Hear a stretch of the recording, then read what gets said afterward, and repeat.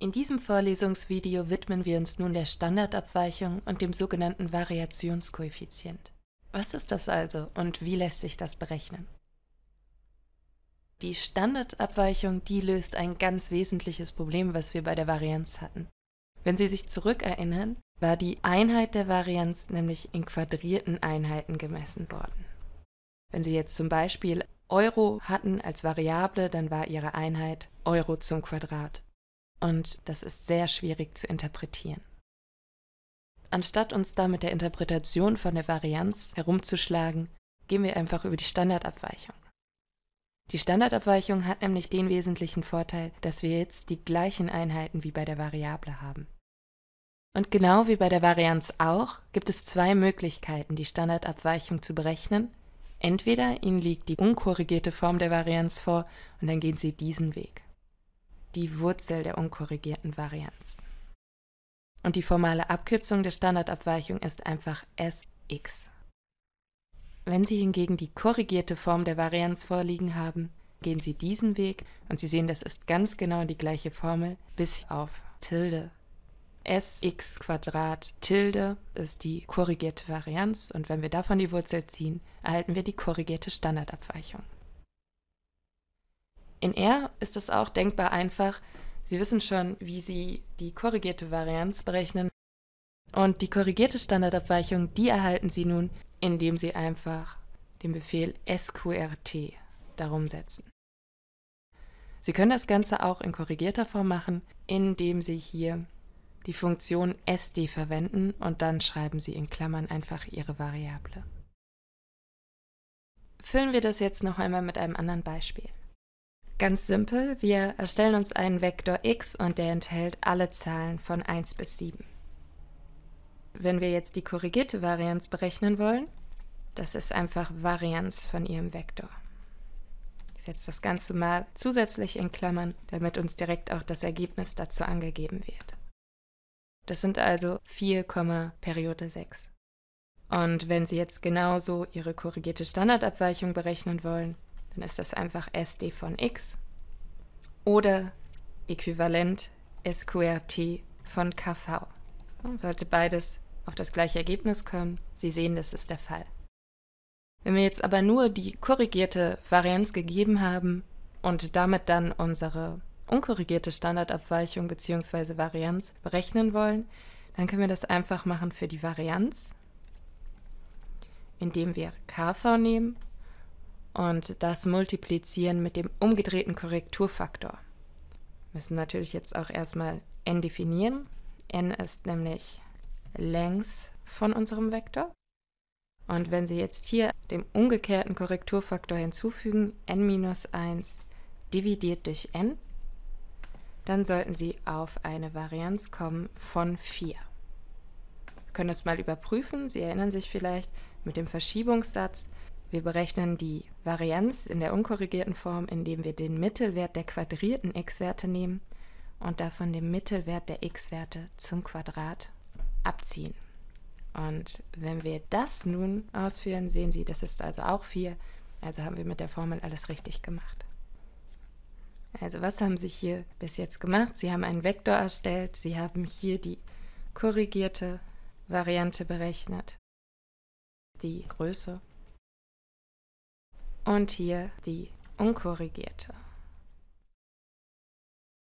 Das heißt, jetzt können Sie dann auch einfach wieder die Wurzel ziehen, SQRT von V, aber Sie können sich das Ganze auch noch einfacher machen wenn Sie nämlich die korrigierte Varianz gegeben haben, dann ist das einfach SQRT von KV mal, und hier ist jetzt ganz wichtig, wenn Sie jetzt diesen Korrekturfaktor berücksichtigen und das, um eben Ihre Standardabweichung direkt zu berechnen, dann müssen Sie hier natürlich auch mit der Wurzel dieses Faktors multiplizieren, also mal SQRT von n minus 1 dividiert durch n.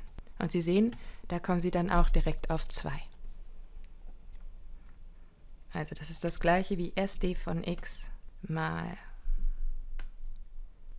der Wurzel des umgedrehten Korrekturfaktors. Gehen wir zurück zum Vorlesungsskript. Sie wissen also jetzt, wie Sie das Ganze in R lösen. Wir haben das für verschiedene Varianten durchberechnet. Und jetzt wollen wir das mit einer anderen Größe, die Ihnen bereits bekannt ist, vergleichen, nämlich der mittleren absoluten Abweichung. Ich schreibe Ihnen jetzt nochmal zunächst beide Formeln oben hin, einfach damit Sie einen besseren Überblick haben.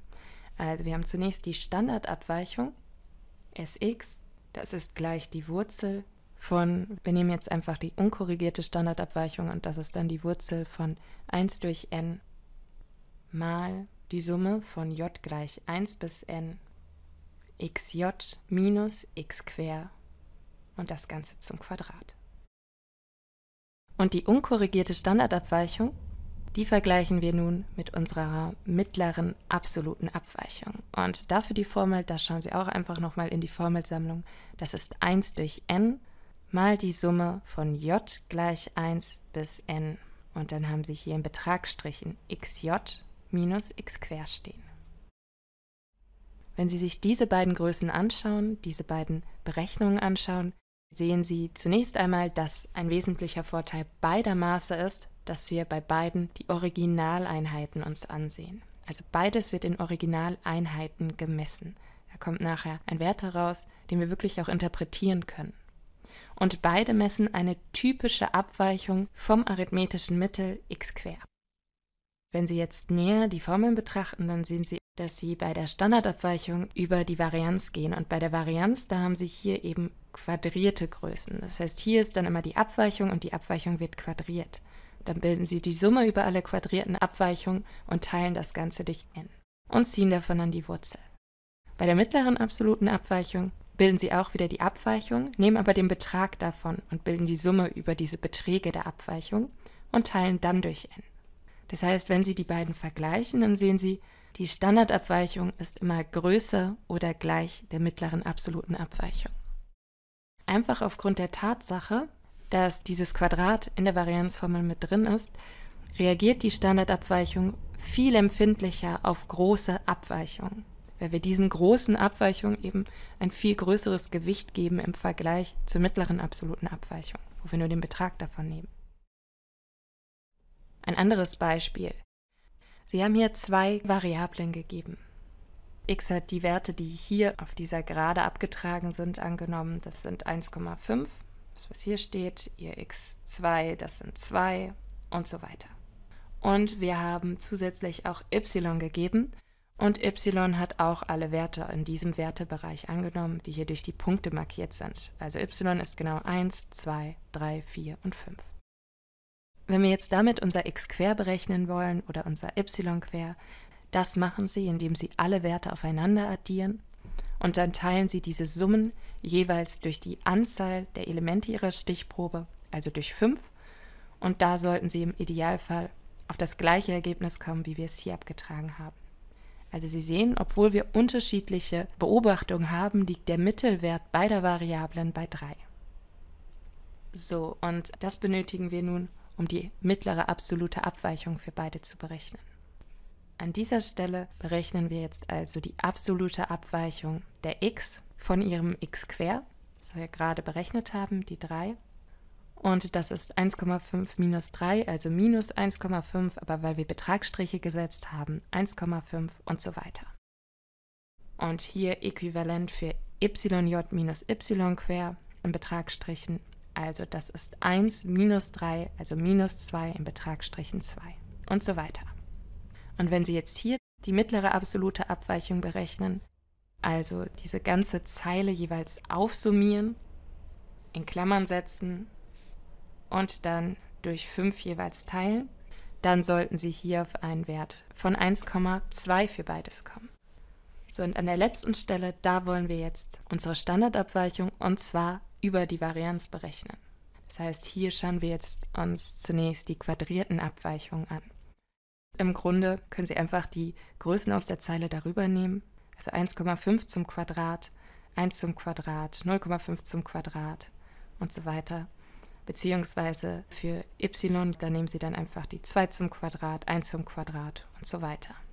Und wenn Sie die aufaddieren und durch 5 teilen, dann kommen Sie auf Ihre unkorrigierte Varianz für x, das sind 1,7 und Ihre unkorrigierte Varianz für y, das sind 2,0. Das sind schon unterschiedliche Werte Und wenn Sie jetzt davon die Wurzel ziehen, dann können Sie sich denken, da kommt auch was Unterschiedliches raus, nämlich 1,3 und 1,41. Sie sehen also sowohl Ihr Sx ist größer als Ihre mittlere absolute Abweichung von x und auch Ihr Sy ist größer als die mittlere absolute Abweichung. Und woran liegt das? Nun ja, das ist genau das, was wir eben besprochen haben. Wir haben eben gesagt, die Standardabweichung ist größer gleich die mittlere absolute Abweichung. Hier ist sie in beiden Fällen größer und sie reagiert empfindlicher auf große Abweichungen. Bei beiden, da war das arithmetische Mittel hier bei 3. Schauen Sie sich die Werte genauer an und dann sehen Sie natürlich, dass diese Werte insgesamt deutlich näher am arithmetischen Mittel liegen, als das hier für diese Werte der Fall ist.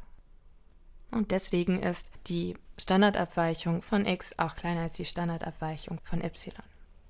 Trotz allem ist sie größer als die mittlere absolute Abweichung, weil wir eben diese Abweichung insgesamt stärker gewichten durch die Quadrierung. Ich habe am Anfang des Kapitels gesagt, heute geht es um Standardabweichung und um den Variationskoeffizient und deswegen machen wir jetzt direkt weiter.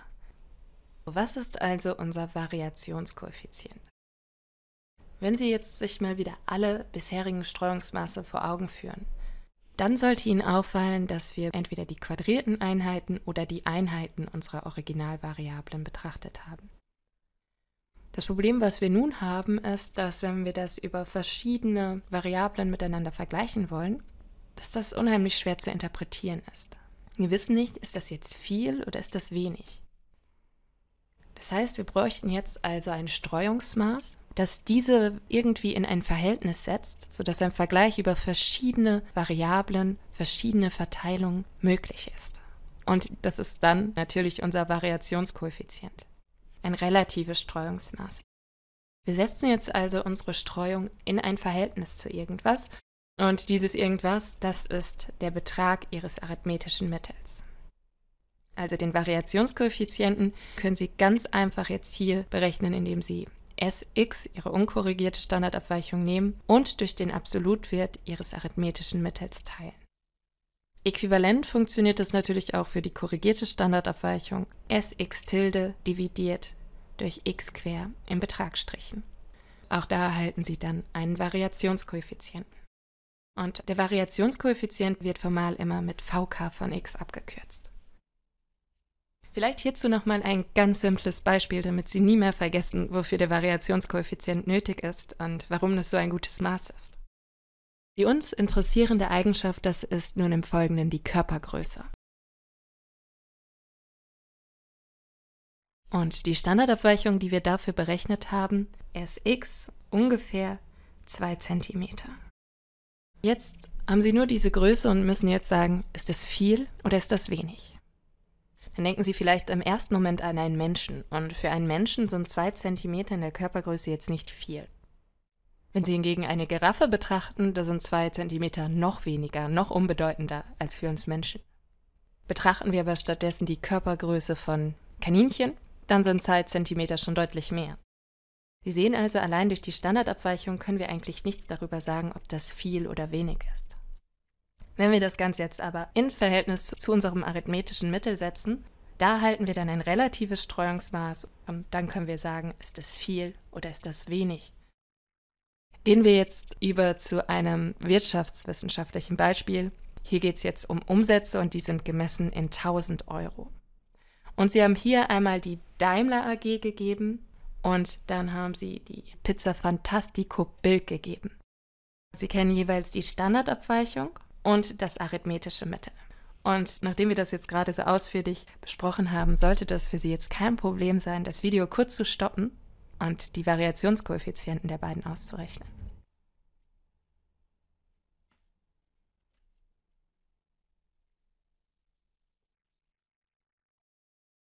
Sie wissen, die Formel ist einfach Sx dividiert durch x quer im Betrag. Sie haben hier die 10 Millionen genommen und die durch 100 Millionen dividiert. Da kommen Sie auf einen Wert von 0,1 für Ihren Variationskoeffizient. Als nächstes haben Sie dann auch Ihre Standardabweichung genommen, 50 durch den Betrag Ihres arithmetischen Mittels. Und das können Sie auch im Kopf, das sind 0,5. Und wenn Sie jetzt hier die Ergebnisse anschauen, dann sehen Sie, obwohl die Standardabweichung der Daimler AG deutlich größer ist als die von Pizza Fantastico Bilk, ist die relative Streuung deutlich geringer als die unserer Pizzeria in Bilk. Machen wir noch ein Beispiel dazu. Und zwar geht es jetzt um die Einkommensstreuung in US-Dollar. Und die beiden Länder, die wir betrachten, das sind Deutschland und Chile. Sie haben wieder Standardabweichung und arithmetisches Mittel gegeben. Und ihre Aufgabe besteht nun wieder darin, den Variationskoeffizienten zu berechnen. Stoppen Sie wieder kurz das Video und kommen Sie hier zu einem Ergebnis.